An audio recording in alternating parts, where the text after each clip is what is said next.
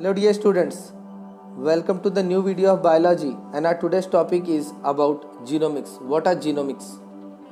Genomics is introduced by H. Ringer in 1920. The total genetic constitution of an organism is known as genomics. Alternatively, it is a complete copy of genetic information about DNA or one complete set of chromosomes that is monoploid or the haploid one. The term genomics was coined by T.H. Roderick in the year 1986.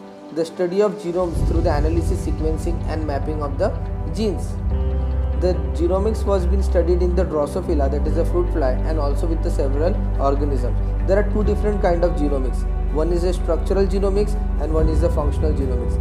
Structural genomics involves the mapping, genetic sequencing and analysis of the genome. The function genomics deals with the study of the functions of all the genes and their expression in an organism.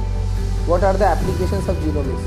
The genomics plays an important role in the structural and functioning is used for different purposes like it is used in an agriculture sector, it is used in medicines, it is used in biological sector, in biotechnology, in social sciences, etc.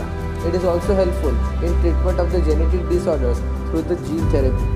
Genomics is used in agriculture for development of a transgenic crops that is a new kind of the crops with a desirable characteristics. Genomics are also used in gene markers which develops the forensic analysis as well as the different techniques for studying of the gene.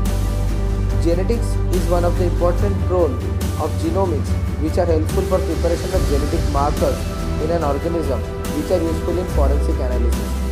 Genomics can lead to introduce a new gene in a microorganism for production of the enzymes, proteins as well as therapeutic drugs. Thank you for observing the video as well as watching.